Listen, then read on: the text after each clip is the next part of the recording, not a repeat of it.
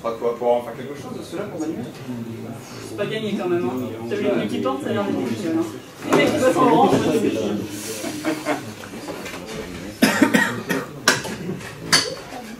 Bonjour à tous. Nous sommes de l'Agence nationale de la surveillance des systèmes d'information.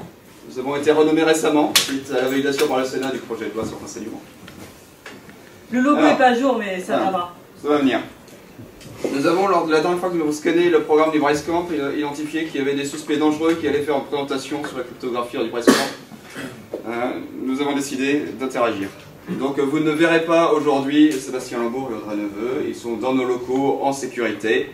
Tout va bien.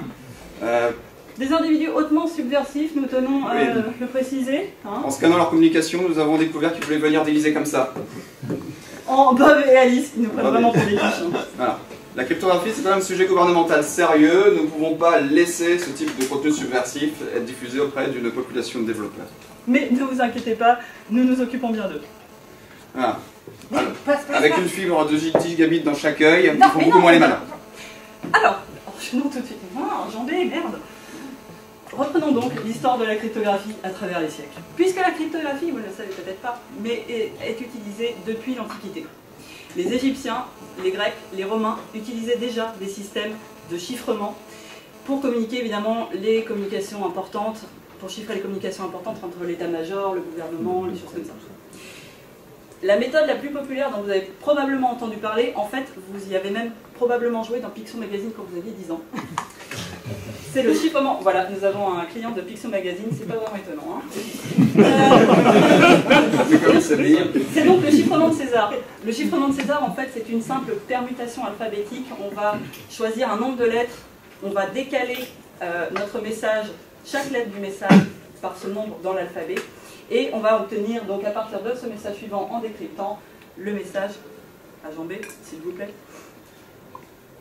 Ajambé, votre sabette ne me semble pas au point. Le message suivant. Ces techniques de chiffrement alphabétique ont évolué jusqu'à la Seconde Guerre mondiale, où là on a eu la quintessence du mariage de la mécanique avec l'électrique, qui était la machine Enigma, servant à effectuer le chiffrement de l'armée allemande et notamment de la Kriegsmarine. Avec un principe similaire, on a des rotors et chaque rotor représente une lettre de l'alphabet. À l'intérieur du rotor, un câblage électrique qui détermine la manière dont la, lettre qui va être utilisée au travers d'un système de diodes et de lumière. Le tout en multipliant les positions initiales des moteurs, de rotor, des positions des séquences initiales et changeant à chaque fois qu'on tape une lettre, faisait que la nature de l'alphabet utilisé lors du chiffrement était euh, variable tout au long du message. Cette machine a été cassée par également une machine créée par Alan Turing. Donc Alan Turing a fabriqué les cryptographiques bombes, donc une autre machine qui, à travers de rotors qui tournaient, permettait de déchiffrer les séquences initiales de chiffrement de l'armée allemande. Alors, on en est à du coup avoir une personne qui a inventé trois choses fantastiques pour nous, agents gouvernementaux. Le computing, des machines mécaniques qui décodent tout seules des codes, fantastique.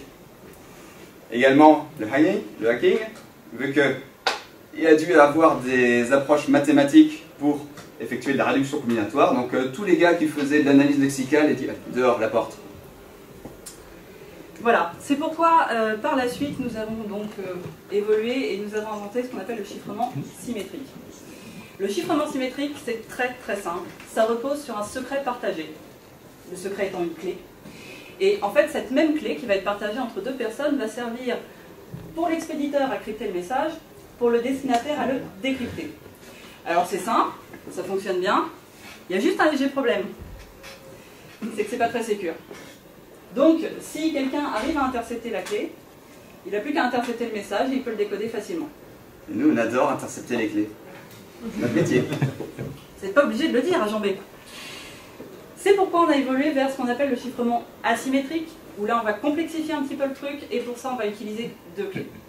Donc, parmi les deux clés, il y en a une qui va rester euh, pas si vite, au lat tornado.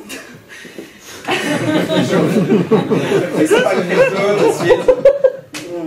ne sais pas pourquoi c'est ça. Donc, une clé privée qui sera celle d'Alice qu'elle va garder pour elle-même, hein, c'est le but d'une clé privée, et une clé publique qu'elle va partager avec l'ensemble du monde. Donc Carole aura aussi cette clé. Et ce qui va se passer, c'est que maintenant, quand Bob va vouloir envoyer un message à Alice, il va utiliser euh, donc la clé publique d'Alice, celle qu'il connaît pour crypter le message, l'encoder. Mais pour que ce message soit lisible, il faudra utiliser la clé privée d'Alice. Donc seule Alice pourra le faire, et dans ce cas-là, Carole bah, peut aller s'habiller. On aime bien aussi stocker les clés privées. Les récupérer, tu veux Ouais. dire Oui, c'est ça. Ouais. Parce qu'évidemment, les clés, il faut les stocker. hein, c'est Ouais. toujours le problème. On s'en occupe. Alors, tout ça c'est gentil, mais c'est pas vraiment suffisant. Donc, on va ajouter ce qu'on appelle des fonctions de hachage. Vous en avez tous forcément entendu parler. Sinon vous sortez, c'est pas possible. Une fonction de hachage, c'est quoi? C'est une fonction dont le but est, à partir d'un document, de générer une empreinte unique et non réversible. Donc, pour ce faire, il va y avoir plusieurs paramètres importants à prendre en compte. Le premier, c'est que chaque fonction de hachage, quelle que soit la taille du message qu'elle recevra en entrée, produira une signature avec une taille de bit fixe. Donc 64, 128, 256, euh, peu importe. Non, enfin peu importe, ça fait beaucoup de bits. C'est vrai, ça fait, ça fait. Merci de le re- me faire rappeler. Effectivement, ça importe en fait, puisque évidemment, plus il y a de bits, et plus on va mettre du temps à casser le hash. Tu peux nous le redire ça Même pas en rêve. Un deuxième paramètre à prendre en compte, ça va être la rapidité d'exécution de votre fonction de hachage.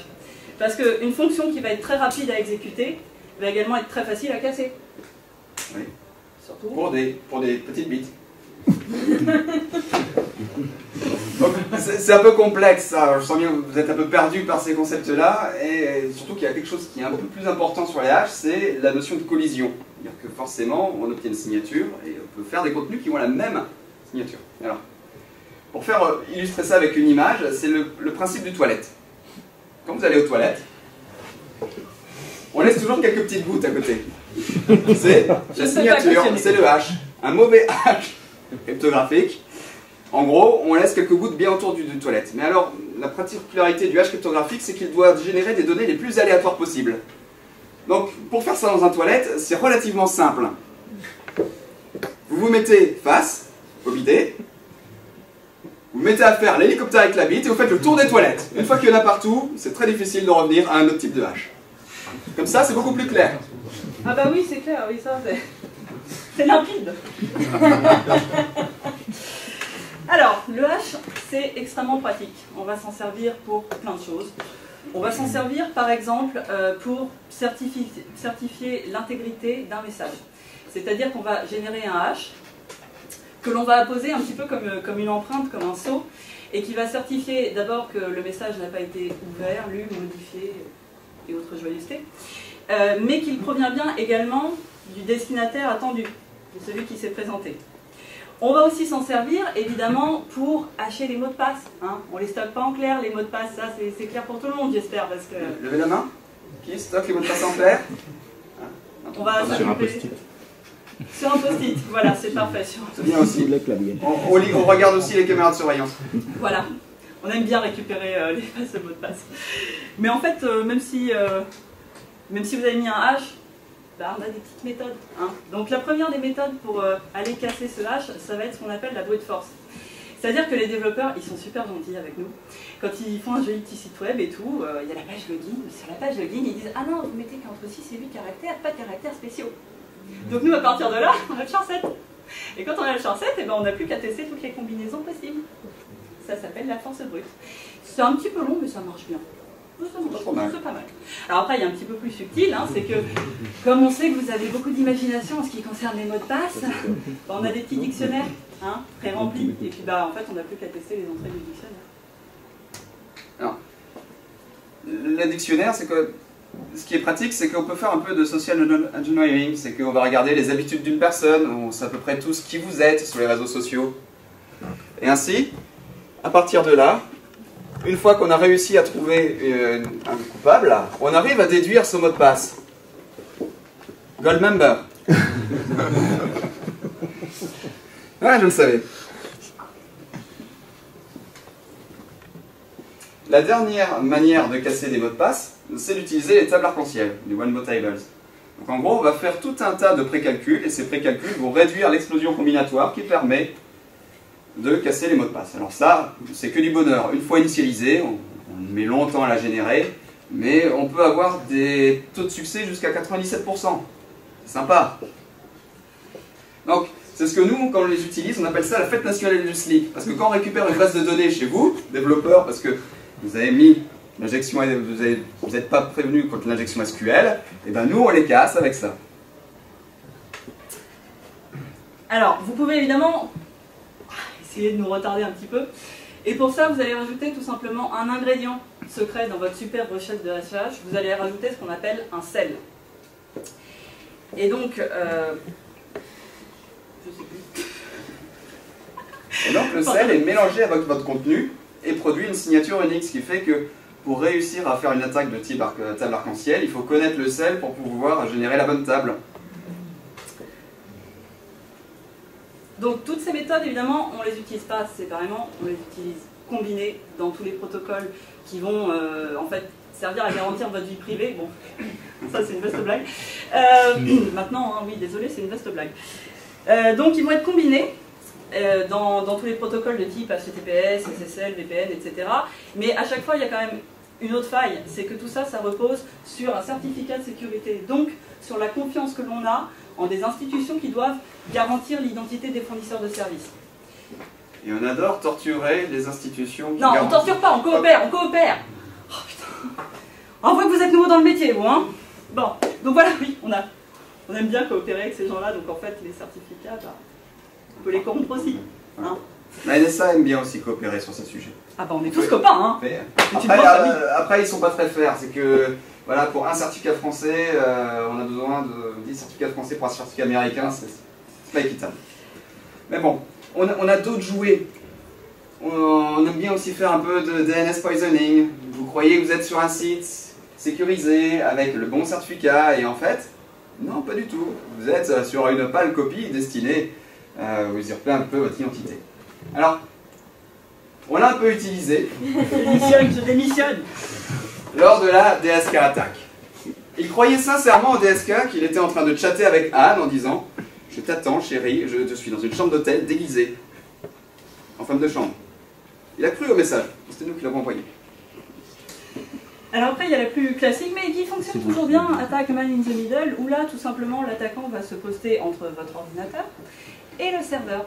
Et une fois qu'il est là, bah, il peut au mieux écouter tout ce qui se passe, tout ce qui rentre, tout ce qui sort dans un sens et dans l'autre, mais évidemment, il peut aussi le modifier. Alors bon, euh, Maintenant, Je- toutes ces petites choses-là sont devenues légales maintenant. ah c'est la slip, hein. Hmm C'est Ouais. open bar tous les midis. hein, euh. On a bien rigolé quand on l'a fait passer. Euh, on a un Ah, petit cette souci. est cassée, cassée. On a un petit souci, c'est qu'on a un petit rituel du coup le midi, euh, avant que la loi passe, euh, on allait regarder un peu comme vous des vidéos. On allait sur YouPorn. Et euh, que du coup, bah, euh, le voisin d'à côté, bah, il trouve pas ça, tra- ça terrible. euh, Il a pas le même Il humour. n'a pas le même humour, hein, il est pas- en fait il est pas drôle. Ouais. Un cop. On, a- on fait un peu comme vous quoi. Bon, hey. Bah, enfin, quoi. casser un VPN c'est pas gênant, mais bon, casser 10 millions ça on sait pas faire. Mais leur dis pas, putain, s'ils en mettent tout ça, on est dans la merde Oh putain, le con Ah, mais c'est pas vrai, le boulet C'est pas grave, ouais, c'est pas grave, c'est pas grave. On, on a une application pour ça. Alors, Donc le midi, nous regardons des vidéos de poney et le VPN c'est pas bien. Pas bien